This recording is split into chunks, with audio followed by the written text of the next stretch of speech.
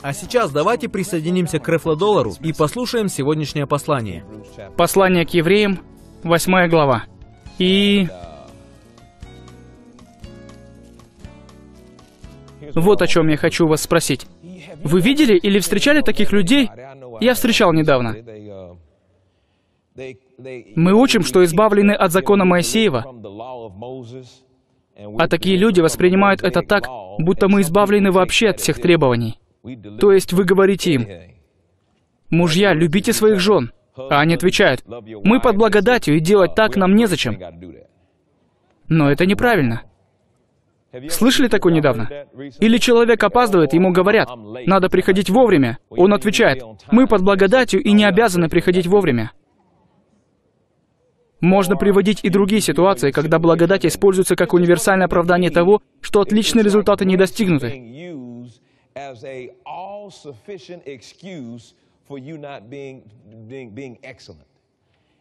Благодать используется и для того, чтобы попытаться сказать,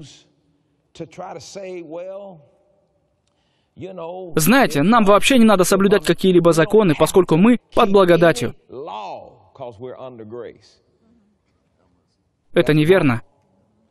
Я уделю какое-то время этому вопросу, чтобы вы поняли. Знаете, я благодарю Бога за то, что мы достигли уровня, когда можем принимать такие вещи и говорить о них, потому что мы можем это делать. Раньше мы пытались только подойти к этим вопросам, а сейчас можем предметно поговорить о них и прийти к балансу.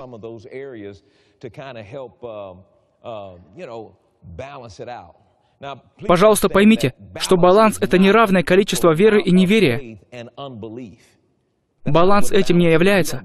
Вы не балансируете веру, добавляя к ней неверие. В мире, особенно в новостных медиа, говорят так, мы должны давать новости в балансе. Они говорят хорошее, но затем прибавляют что-то плохое. Это неправильно. Библия говорит, что ложный баланс — мерзость перед Богом. Возьмем, к примеру, качели-доску. Кто-то помнит такие из детства?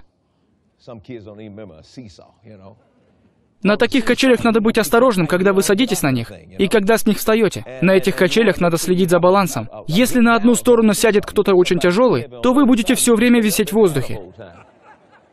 Если на таких качелях слонный ребенок, баланса не будет. Не сработает. Понимаете, если я хочу сбалансировать истину, я прибавляю к ней больше истины. Баланс очень важен. И наш разговор пойдет именно об этом. Что мы знаем? Что мы понимаем? Не буду приводить местописания. Вы уже знаете.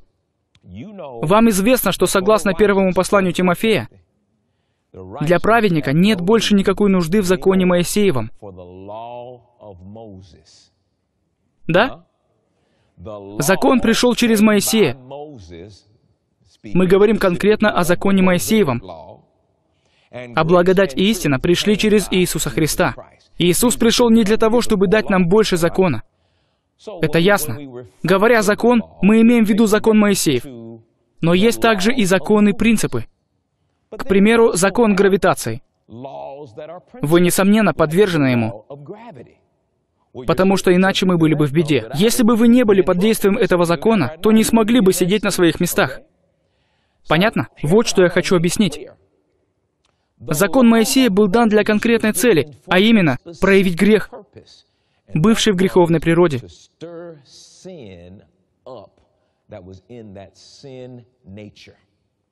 Для этого и был дан закон. Он был дан для того, чтобы проявить грех, умножить грех, произвести осуждение, произвести сознание грехов. Закон, пришедший через Моисея, Моисеев закон, был дан для того, чтобы человек осознал свою несостоятельность. Он был дан, чтобы привести вас к моменту, когда вы поймете, я не могу исполнить закон, он слишком совершенен, мне необходим Иисус, мне необходим Спаситель. Закон в совершенстве исполнил то, что Бог определил ему сделать. Произвести осуждение, вину, стыд, проявить грех, показать ваше бессилие, чтобы вы признали, самому мне не справиться, мне необходим Спаситель. Закон Моисеев, десять заповедей, исполнили свое предназначение, сделали свое дело. И вот мы родились свыше. После этого, согласно посланию к римлянам 10.4, Христос — конец закона. Наше рождение свыше для нас — конец закона. Почему? Потому что теперь у нас есть Дух Святой. И Он был дан нам в этом Новом Завете благодати. Этот завет таков, что теперь мы живем согласно наставлениям Духа Святого.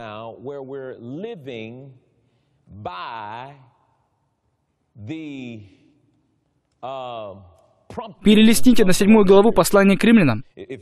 Я покажу вам очень хорошее место Писания. Послание к римлянам, седьмая глава. Мы живем согласно наставлениям Святого Духа. Послание к римлянам, 7 глава, 6 стих. «Но ныне, умершие для закона, которым были связаны, мы освободились от него, чтобы нам служить Богу в обновлении духа, а не по ветхой букве». Расширенный перевод. «Но ныне мы освобождены, демобилизованы от закона, и прекратили с ним всяческие отношения, умерев для того, что когда-то связывало нас и держало в неволе, так что теперь мы служим не из послушания Ветхому кодексу написанных предписаний, но из послушания наставлениям Духа в новизне жизни. В новизне жизни мы рождены свыше. Мы приняли новое творение. И в новизне жизни мы служим согласно наставлениям, и мы слушаемся наставлений Духа Святого. Так что теперь изменилось по сравнению с законом? Под законом Дух Божий сходил на людей, но не оставался с ними. Дух Святой сошел на Илию, но затем ушел. А при Новом Завете Дух Святой живет в нас и никогда нас не оставит. Он остается с нами все время. Почему? Потому что в Новом Завете мы водимы Духом. В Новом Завете Дух Божий наделяет нас силой. В Новом Завете Дух Божий помогает нам. То, что было невозможно при Ветхом Завете, то, что при Ветхом Завете мы делать не могли, мы теперь можем сделать посредством духовного человека. И это очень сильно. Особенно при этом утверждении легко прийти к следующему выводу. Раз мы были освобождены от закона, так значит, теперь для нас нет никаких законов. Но это не так. Это неправда. Откроем восьмую главу послания к евреям и увидим, почему это неправда. Вы по-прежнему живете согласно законам, не согласно закону Моисееву, но теперь вы исполняете законы под водительством Духа Святого. Дух Святой помогает вам. Всем это понятно? Это местописание поможет вам. Послание к евреям, 8 глава, 10 стих.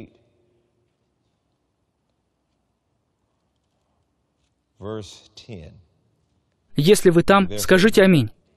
Прочтем 10 стих вместе. Готовы? Читаем. «Вот завет, который завещает Дому Израилеву после тех дней, говорит Господь. Вложу законы мои в мысли их и напишу их на сердцах их». Остановимся на этом. Кто-то скажет, «Но я думал, что мы избавлены от закона». Вы избавлены от закона Моисея. Но избавлены для того, чтобы... Ну-ка, закончите. Исполнять закон жизни — вы избавлены, чтобы исполнять закон Духа. Мы знаем, что это за закон. Послушайте, вот завет, который завещает Дому Израилеву после тех дней, говорит Господь. «Вложу законы мои в мысли их и напишу их на сердцах их». Вопрос, какие законы Он вложит в мои мысли? Что это за законы, которые Он напишет на моем сердце? Давайте я спрошу вас. Это будет Моисеев закон. Его Бог вложит в ваш ум и ваше сердце. Нет, тот закон был дан для конкретной цели, правильно? И успешно исполнил то, для чего был дан, верно? Какой же закон Бог вложит в наше сердце и в наш ум?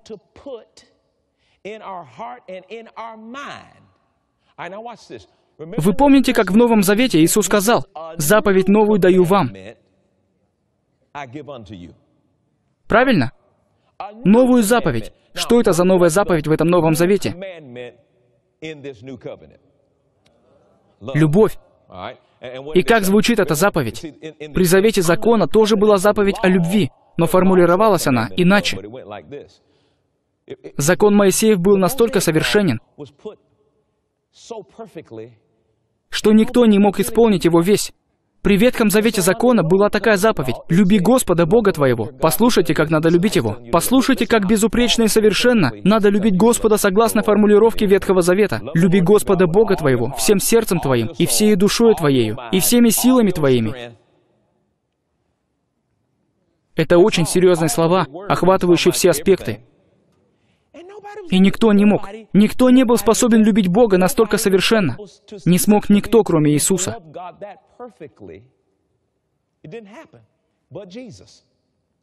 И Иисус единственный, кто любил Бога совершенно.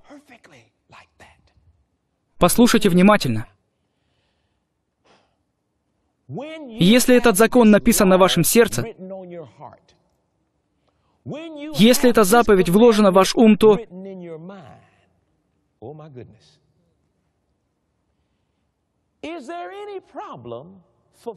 есть ли какая-либо проблема с исполнением требований праведности Ветхого Завета?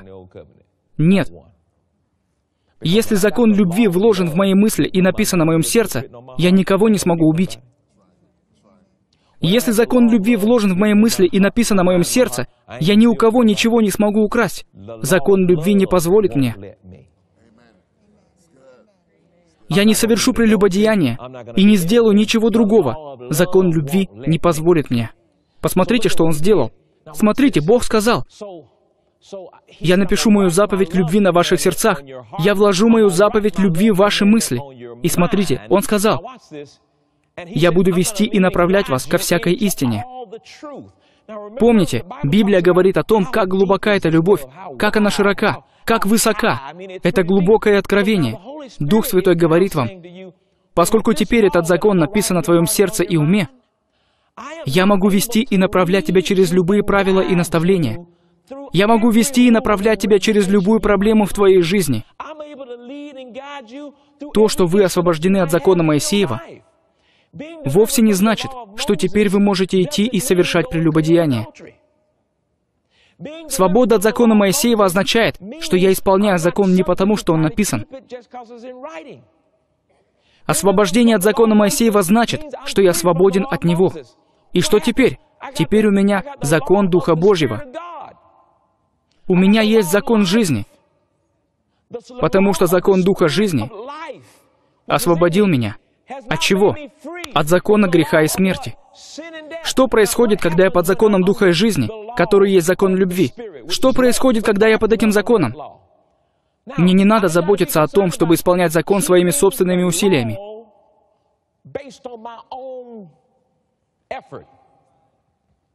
Почему? Потому что у меня есть Дух Святой. И что Он сделает? Не прелюбодействуй. Он не только скажет «не прелюбодействуй», но будет работать с окружающими вас обстоятельствами так, чтобы вы точно не совершили прелюбодеяние. Он будет вести вас, направлять вас, говорить с вами о любви. Плоды Духа будут вложены в вас. Поскольку в вашем сердце любовь Божья, в него придет и терпение, долготерпение. Плоды Духа будут проявляться в вас, потому что сам Дух Божий пребывает в вас, и Он производит плоды без всяких ваших усилий. В Ветхом Завете вам надо было трудиться ради дисциплины, но в Новом Завете Дух Божий поможет вам сделать то, чего вы сами сделать не можете. Поэтому в послании Галатам сказано, «Только бы свобода ваша не была поводом к угождению плоти». Я сказал много. Вам это понятно? Так какая разница? Разница в том, что мы по-прежнему живем по закону. Но не по закону Моисееву, а по закону Духа. Мы живем по закону любви. Мы живем по совершенному закону свободы. А какая разница? Дух Божий показывает нам путь в нашей жизни в том, что касается исполнения этих законов. Закон любви при содействии Духа Божьего поможет нам любить тех, кого любить невозможно. Только христиане в Новом Завете способны любить своих врагов. Без Духа Святого делать это невозможно.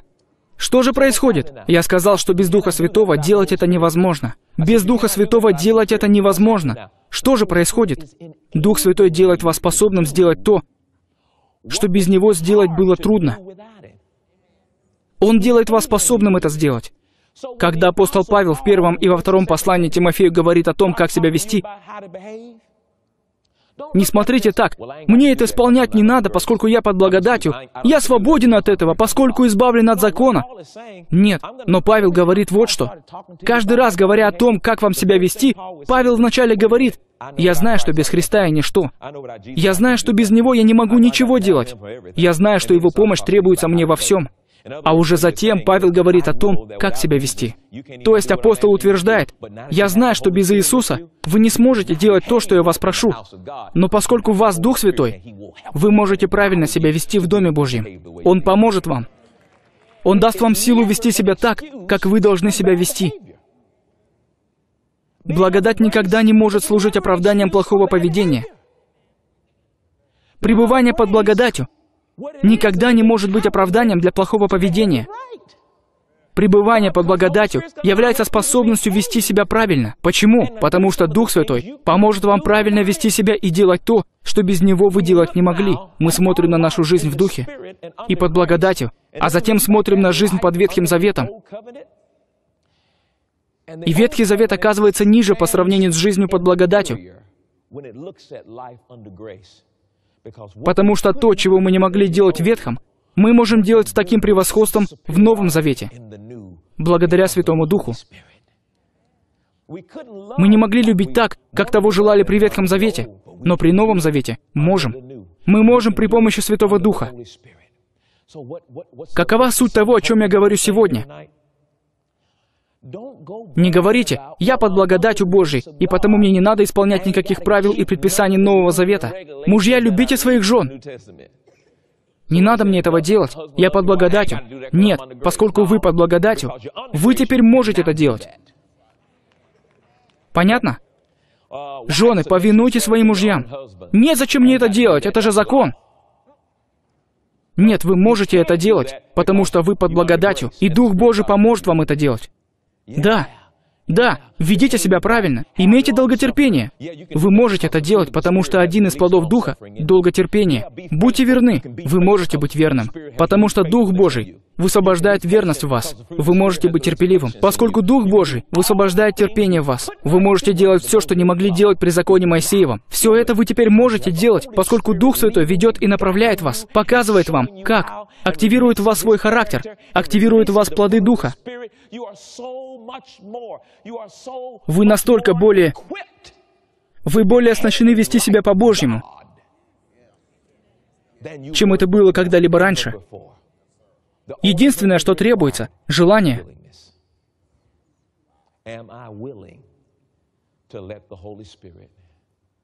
Желаю ли я, чтобы Дух Святой вел и направлял меня ко всякой истине?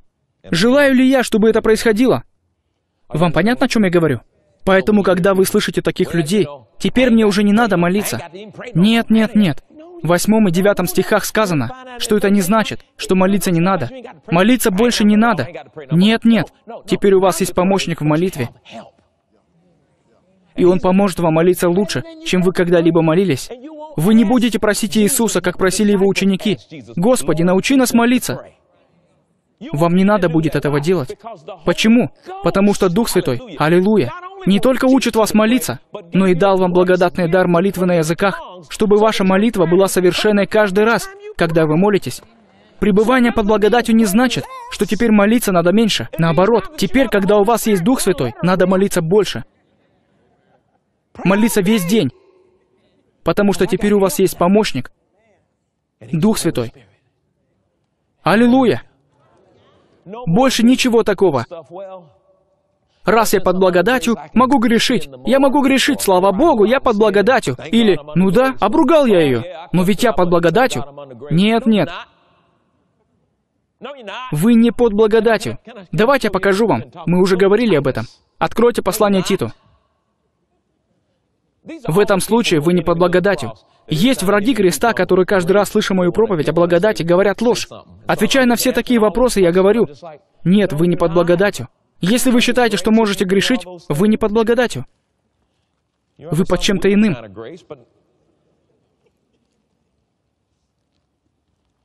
Кто из вас рад тому, что я говорю об этом сегодня? Прочитайте 11 стих. К Титу 2 глава, 11 стих. О, я рад. Слава Богу. Аллилуйя. 11 стих. «Ибо явилась благодать Божия, спасительная для всех человеков». Так и есть, верно? Да, Господь, она несет освобождение, она несет исцеление, она несет преуспевание, несет здоровье.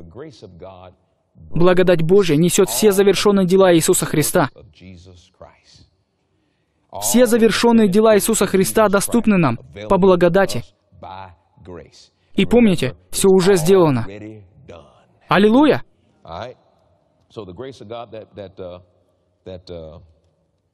Ибо явилась благодать Божия, спасительная для всех человеков. Какое необычное утверждение! А что оно значит? Что благодать Божия доступна любому человеку на этой планете. Любому человеку на этой планете. Иисус сделал то, что Он сделал. Не только для церкви. Он сделал это для каждого человека на планете. Для каждого грешника, которого вы встречали и с которым говорили. Иисус обеспечил благодать. Но что происходит? Благодать доступна всем, но не все принимают ее. Мы с вами приняли благодать. Мы родились свыше. Мы сказали, что желаем ее, верно? 12 стих. В 11 сказано, «Ибо явилась благодать Божья, спасительная для всех человеков». И дальше, научающая нас.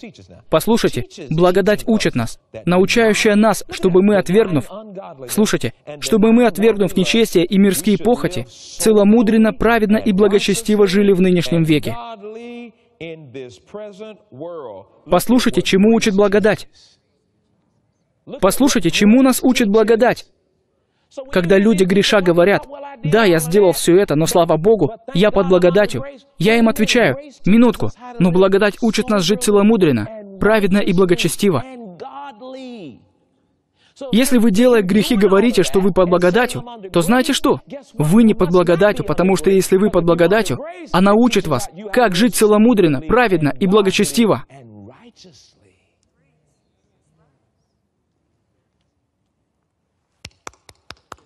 Да. Так сказано в Писании, верно? Есть такие люди, которые используют это учение как оправдание греховного образа жизни. Откройте четвертую главу послания Галатам. Давайте пятую.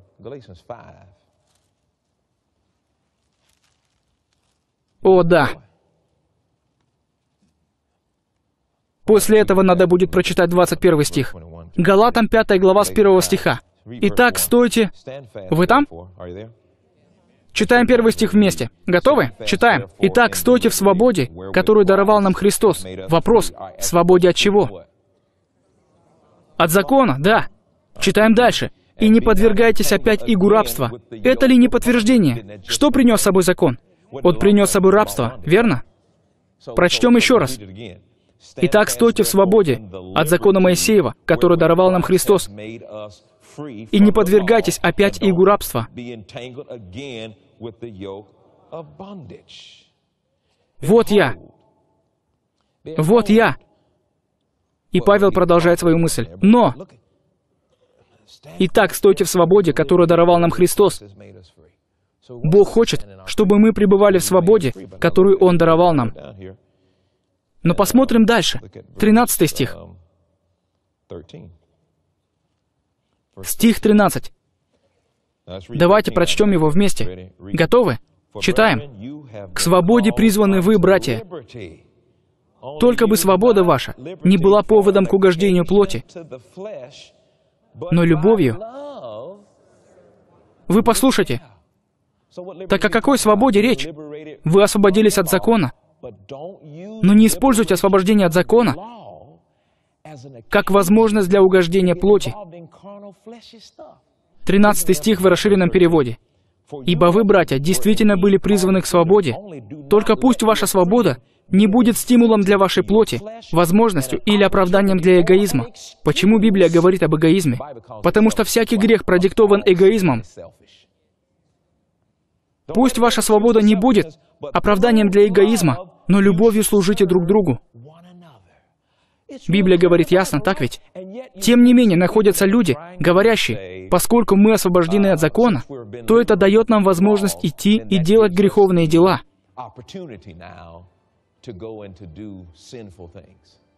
Послание о благодати говорит вовсе не об этом. Не этому учит благодать. Мы под новой заповедью, под заповедью о любви. Мы под заповедью о любви. И Дух Святой помогает нам исполнять эту новую заповедь о любви. Он помогает нам не только тем, что ведет и направляет нас, но тем, что вкладывает в нас свои плоды, тем, что вкладывает в нас свой характер, тем, что вкладывает в нас откровение. Он посвящен лидерству и водительству, которые хочет обеспечить для нас.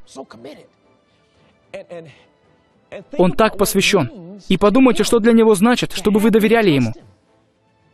Что для него значит, когда вы сталкиваетесь с ситуацией, когда вашей плоти тяжело, когда вы сталкиваетесь с ситуацией, в которой ветхий человек хочет подняться и побудить вас поступить так, как вы поступали всегда, и Дух Святой говорит, не паникуй, Доверься мне, я помогу тебе пройти через это. Я знаю, что раньше тебе никогда не удавалось выбраться, но я тебе помогу.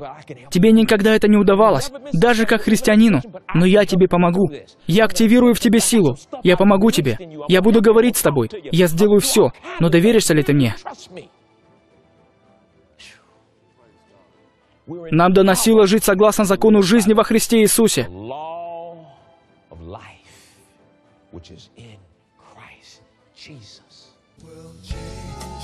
Он по-прежнему служит обличителем для лжецов, убийц. Помните? Итак, он по-прежнему исполняет цель. До того, как грешники станут христианами, закон будет обличать их, осуждать их, вызывать у них чувство стыда, все эти переживания. Он будет вызывать у них все это, потому он и был дан. И Библия говорит, что закон не предет, доколе не придут небо и земля. Итак, закон будет существовать, доколе не придут небо и земля. Только для праведных он не будет существовать. Ради цели безопасности я прочту это до того, как закончить этот небольшой раздел, чтобы вы убедились, что так сказано в Писании. It will not be taken away until heaven and earth has passed away. So the law is still going to exist until heaven and earth has passed away. Первое послание Тимофею, первая глава, восьмой стих. «Если вы там, скажите аминь. А мы знаем, что закон добр. Никогда, глядя на закон, не говорите, что он плох. Закон пришел от Бога, закон добр, закон совершенен, и он свят. Почему? Потому что он пришел от Бога. Он не был хорош для нас, потому что мы не могли исполнить его. Однако он был хорош, поскольку исполнял ту самую цель, для которой Бог создал его. Так? Здесь говорится, а мы знаем, что закон добр. Если кто законно употребляет его, зная, что закон положен не для кого? Праведника, но для кого? Беззаконных и непокоривых, нечестивых и грешников, развратных и оскверненных, для оскорбителей отца и матери, для человека-убийц, для блудников, мужеложников, человека-хищников, клеветников, скотоложников, лжецов, клятвопреступников и для всего, что противно здравому учению, по славному благовестию блаженного Бога, которое мне верено. Как видите, закон Моисеев по-прежнему продолжает быть где-то водителем, пока люди не придут к Христу.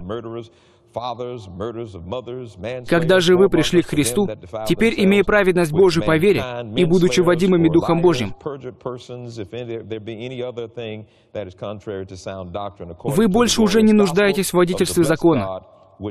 Я на самом деле вдохновлен сделать еще одно, прежде чем завершить эту тему. Послание к евреям, 10 глава. Брат Доллар, в одном из мест Писания сказано, что если мы произвольно грешим, то не остается больше жертвы за наши грехи. Большинство христиан воспринимают этот стих как означающий, если я согрешу, и это будет произвольный, сознательный грех. Но это даже не имеет смысла. Что тут объяснять? Ведь любой грех сознательный. Любой грех намеренный. Вы подумайте, мысль что-то объяснить кажется мне нелепой, поскольку любой грех произвольный. Мы почему-то пришли к убеждению, что существуют грехи произвольные и непроизвольные. Некоторые люди делят так. Произвольный грех и такой, который меня заставил сделать дьявол, который на самом деле сделал не я. То есть, я в постели, как я тут оказался? Как? Где моя одежда? И с кем это я в постели? Дьявол заставил меня оказаться тут. Нет, произошло вовсе не так. Это было осознанное действие вашей воли. Вы делаете нравственный выбор. Спасены вы или нет, у вас есть право выбирать. Послание евреям было написано евреям. Адресовано оно еврейскому народу. Послушайте, 24 стих. «Будем внимательны друг к другу, поощряя к любви и добрым делам. Не будем оставлять собрание своего, о! О! Смотрите, на что это мы натолкнулись. Вы послушайте, я люблю людей. Если вам никак не собраться, если вы никак не можете присоединиться к нам, слава Богу за интернет. Да и аминь. Аллилуйя. Какой чудесный инструмент. Однако дан он был не для того, чтобы отказаться от собрания. Слава Богу за наши церкви, когда люди могут собираться. Писание говорит, не будем оставлять собрание своего, как есть у некоторых обычай. Не будем увещевать друг друга, и тем более, чем более усматриваете приближение Дня Онова. Ну, я просто хочу слышать Слово Божье. Я рад, что вы хотите слышать Слово. Но все не может сводиться к вашему слышанию Слова. Есть что-то в посещении церкви и в собрании вместе с другими верующими, что дает Духу Святому возможность помогать нам. И Он не может это делать. И Он не может это делать. Когда вы дома смотрите служение по интернету, хотя это уже считается нормальным, верующие не собираются вместе и считают это нормальным. Я не говорю, что это грех, но ведь есть причина, почему Писание говорит так. Что мы теряем, когда оставляем собрание? Я считаю, что приходя в церковь, вы обретаете то, что искали. Аминь. Сейчас не выбегайте из дома и не мчитесь к нам, чтобы успеть до окончания служения. Не делайте этого. Я имею в виду, будьте благословены. Я люблю вас. Не делайте так. Я это говорю не для того, чтобы кого-то осудить. Я говорю, мы натолкнулись на это место Писания, и я призываю поразмыслить, почему Библия говорит, не оставляйте собрание своего. Что же мы постоянно теряем, оставляя собрание? Не позвольте комфорту лишить вас наставления Святого Духа. Аминь. Я взял послание евреям, чтобы что-то показать вам. Хорошо, 25 стих. Тем более, чем более усматриваете приближение Дня Онова, 26 стих. Вот оно. «Ибо если мы, получив познание этой истины, произвольно грешим, давайте размышлять вместе. Мы воспринимаем всю Библию как единое целое. Познание истины. Возьмем несколько мест Писания, чтобы ответить на вопрос. И эта истина сделает вас свободными. О чем говорит Иисус? «Если прибудете в Слове Моем, то познаете истину, а что это за истина, которую мы познаем, пребывая в Его Слове? Любовь. Что вы сказали? Вот что я познал. Я познал истину о различии между законом, пришедшим через Моисея, и благодатью, пришедшей через Иисуса.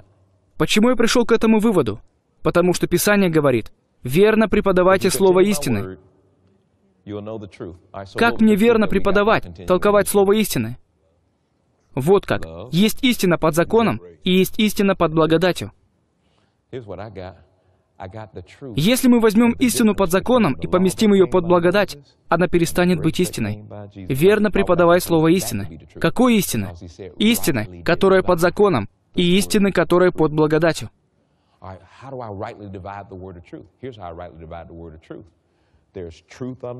Так что каждый раз, когда вы рассматриваете истину, уверяю вас, можете сами убедиться, когда вы видите слово «истина», оно всегда относится к истине этого Нового Завета, в противоположность закону Моисееву.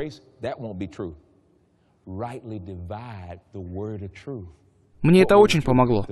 Каждый раз, когда я вижу истину и понимаю то, что мы понимаем о благодати, это теперь моя истина. И все, что мы видим в свете, это истины.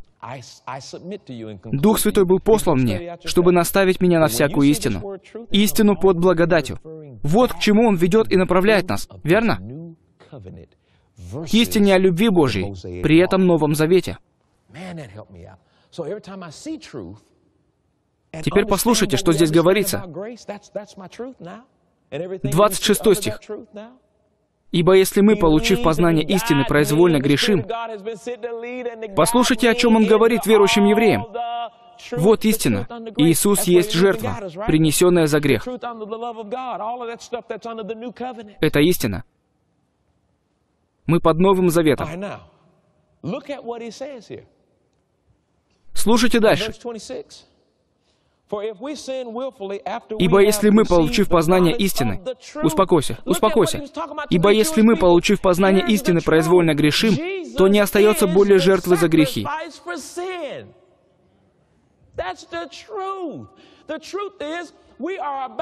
Если мы произвольно грешим, он обращается к евреям. А что делали евреи под истиной закона в том, что касалось их грехов? Что они делали? Приносили жертвы. Священник брал жертву, кропил кровью. Их грехи покрывались кровью жертвы, и они могли жить дальше. Так?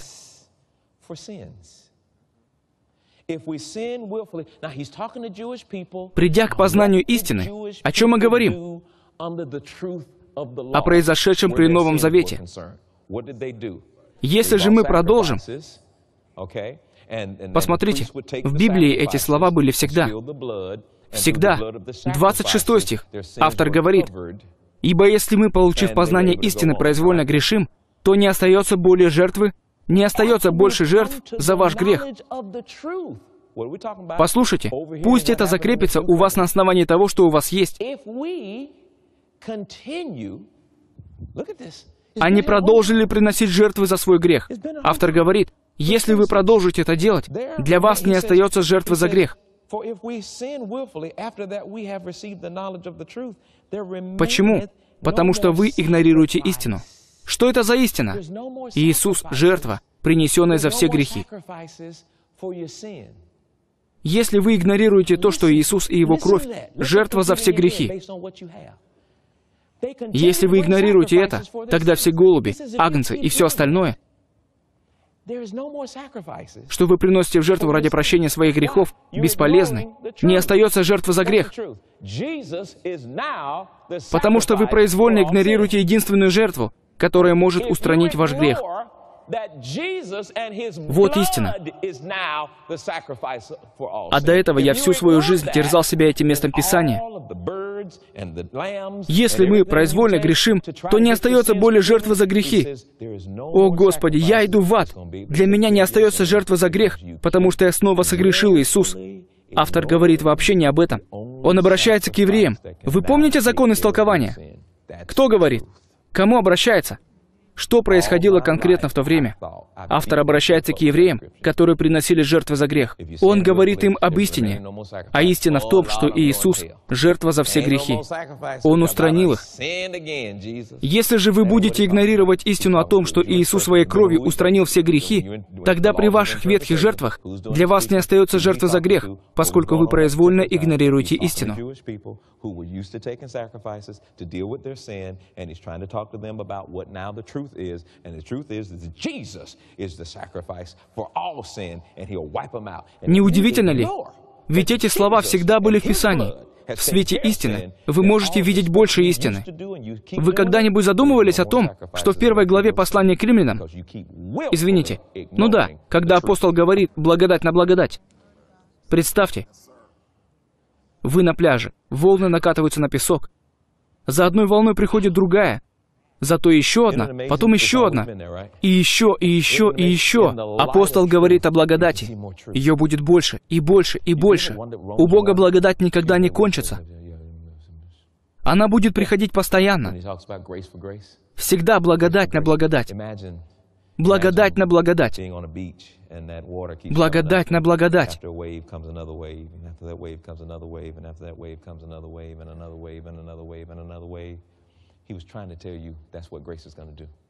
О, слава Богу! Ну а теперь послание к римлянам, 8 глава.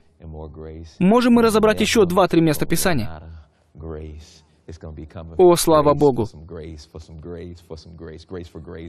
Знаете, почему я облегченно выдохнул? Потому что, наконец-то, это объяснение будет на видео. Что происходит? Я создаю информационную базу. И теперь мы можем говорить людям, послушай вот это. И вы сами можете слушать этот материал. Каждый раз, когда возникает вопрос, слушайте, слушайте, хвала Господу. Аминь. Это очень благословит вас. Послание к Римлянам, 8 глава.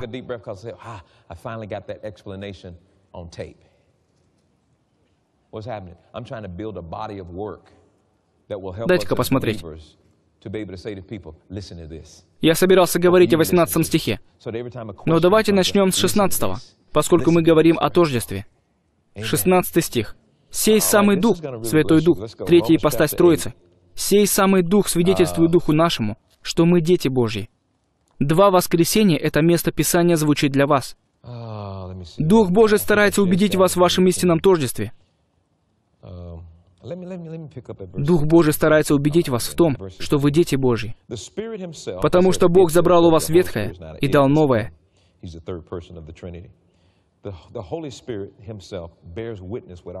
В день вашего спасения Бог не изменил, а обменял вас.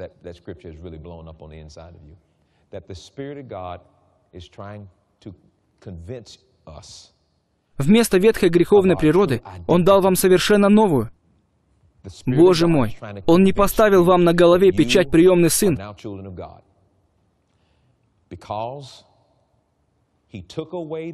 но извлек из вас вашу ветхую природу. и вложил в вас нового человека, сотворенного по образу Его.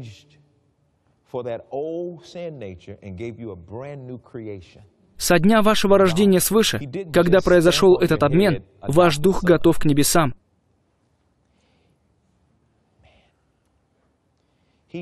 Аллилуйя! Однако, если вы не примете это тождество, о котором вам свидетельствует Дух Божий,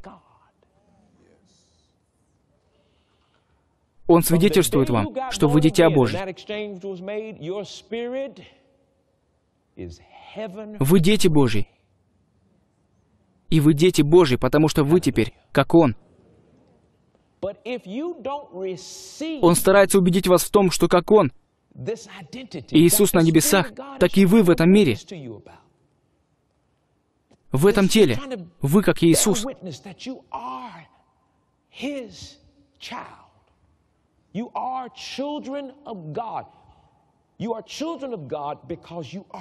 Знаете, когда настанет время нам идти на небеса, Бог не будет полировать наш дух, чтобы он был готов к небесам. Наш дух также совершенен, как и Иисус. Поэтому Библия говорит, а соединяющийся с Господом есть один дух с Господом. Итак, вы один дух с Ним. Библия говорит, что ваш совершенно новый дух и Иисус в Боге. Вы в Боге. Аллилуйя. Вы во Христе, в Боге. Поэтому переживания Иисуса становятся вашими переживаниями. Родившись свыше, вы имеете не только новое будущее, но также и новое прошлое. Вы были распяты с Христом, погребены с Ним, воскресли с Ним. Понятно, о чем речь?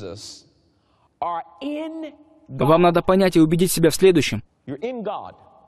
Я есть реальный я, не мое тело, не моя душа. Перестаньте смотреть на себя как на тело или как на душу. Человек состоит из трех частей. Человек есть дух, он обладает душой, а это разум, воля, эмоции, и живет он в теле. Вы — это не тело, вы дух. Истинный вы совершенен как Бог. Ваше тело и ваше поведение постоянно пытаются убедить вас в том, что вы не дети Божьи. Дух Святой свидетельствует вашему духу, а это истинные вы, что вы дети Божьи, созданные такими, как Он. Вы, как Он уже сейчас. Мой духовный человек прямо сейчас, такой же, как Бог. Мне незачем тревожиться о том, пойду я на небеса или нет. Теперь, когда истинный Я во Христе и истинный Я как Бог, когда Иисус восел одесную Отца, восел и я. Я уже посажен на небесах. У меня нет страха смерти. У меня нет страха перед судным днем. Я иду на небеса. Вы уже там. Я уже там. Это уже свершившийся факт. И Иисус уже позаботился об этом ради нас. Аллилуйя! Слава Богу! Аллилуйя! Слава Богу! Но пойдя на небеса, я не хочу не воспользоваться тем, что Иисус совершил своей кровью. Я пришел на небеса. Кровь Иисуса сделала все, но я этим не воспользовался. Раньше моей главной целью было пойти на небеса, но теперь не это моя главная цель. Это норма для спасенных. Я хочу, чтобы когда я попаду на небеса, я услышал, «Посмотри, сколько ты сделал для меня!» Посмотри, я хочу быть живым письмом для Господа. Я хочу, чтобы весь мир знал об этом любящем, потрясающем, могущественном Боге, который настолько возлюбил нас, что не поставил печать усыновлены, не выдал нам бумаги об усыновлении, но сказал, усыновив вас, я сделаю вас такими, как я. Я уберу ветхого человека. Я вложу в вас совершенно нового человека, созданного по образу моему, и вы готовы к небесам.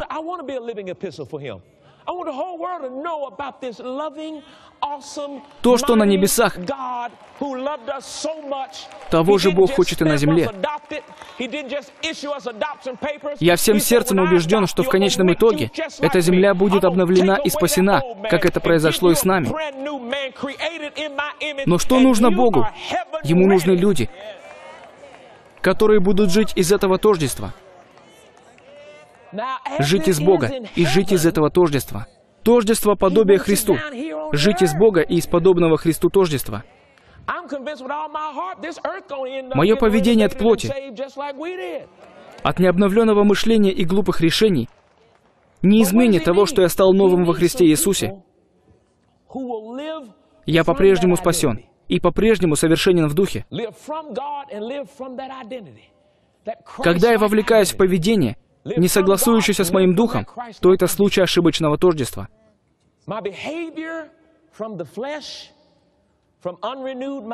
Когда вы так себя ведете, это не вы, это ваша плоть.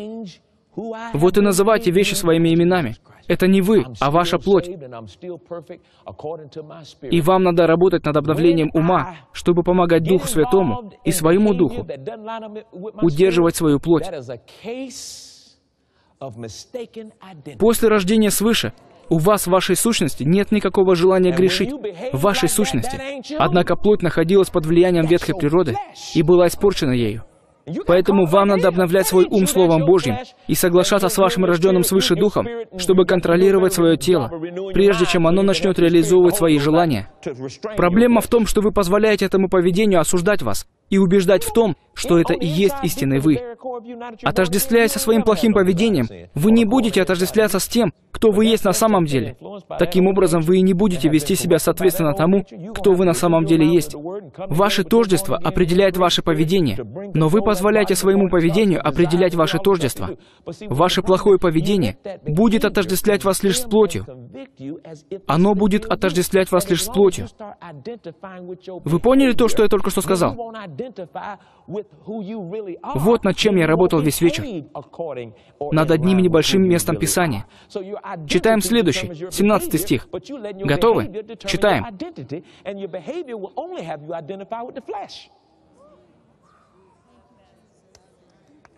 It'll only have you identifying with the flesh.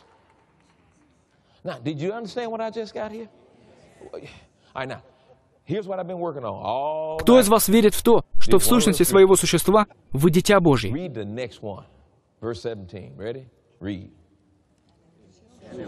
Я верю в то, что говорит Писание, что я стал как Христос.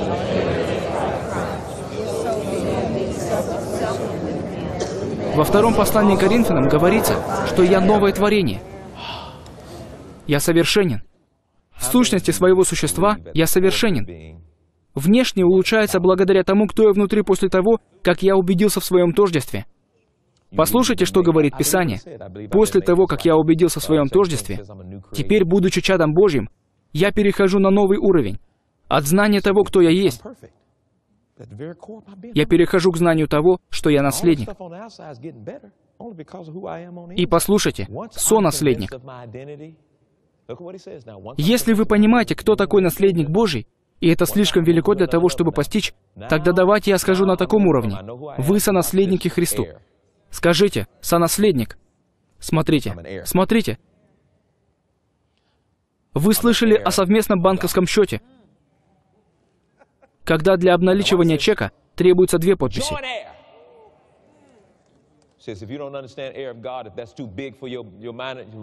У нас совместный банковский счет с Иисусом. Иисус уже подписался под всеми обетованиями. Значит, мы не ждем его подписи.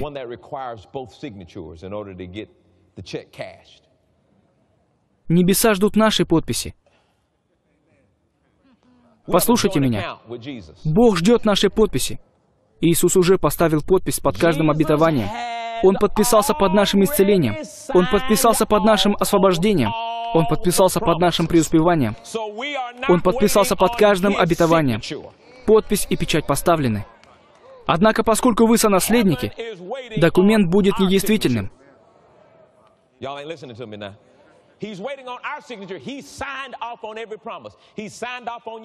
И обетование с одной подписью не реализуется. Значит, для того, чтобы обналичить чек исцеления, чтобы обналичить чек преуспевания, чтобы обналичить чек новой работы, какой бы то ни был чек, Небесный банк пошлет вам его обратно со словами. Мы не можем обналичить его без двух подписей. На чеке только одна подпись.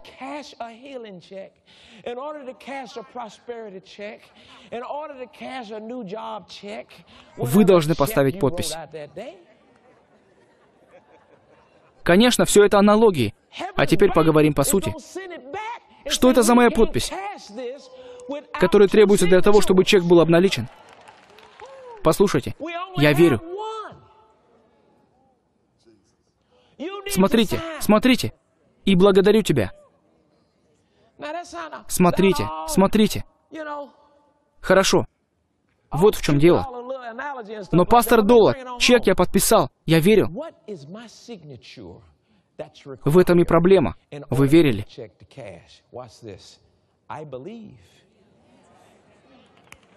Ничего не получается, потому что вы верили. Нет, нет, нет. Я верю. Я принимаю. Все уже сделано. Послушайте, я уверен, что вы задавали этот вопрос, как и я. Откуда я знаю, что я верю? Я действительно верю? Как я подписываю этот чек? Доверяя Богу. Я знаю, что вы задавали этот вопрос. Я тоже задавал.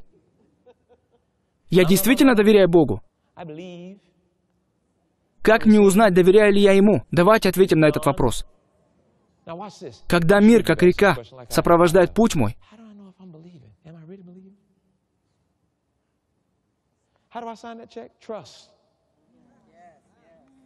когда мир... Незачем петь всю песню. Ответ мы уже получили. Когда мир... Мир... Мир... Мир — это подтверждение убежденности.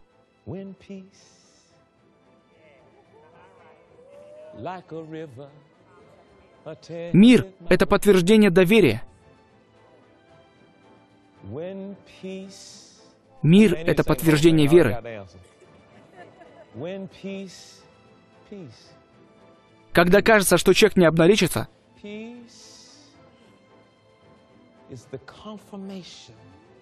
это и надо делать, чтобы он обналичился.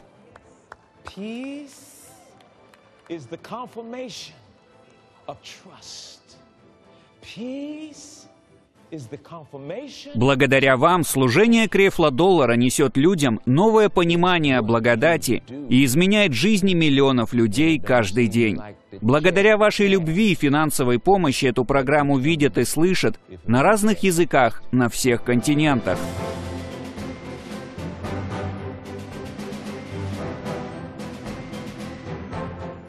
Because of you, Creflo Dollar Ministries has been loving people and changing lives for over 20 years. Your love is being felt around the world. We thank the partners and friends of Creflo Dollar Ministries for making this program possible.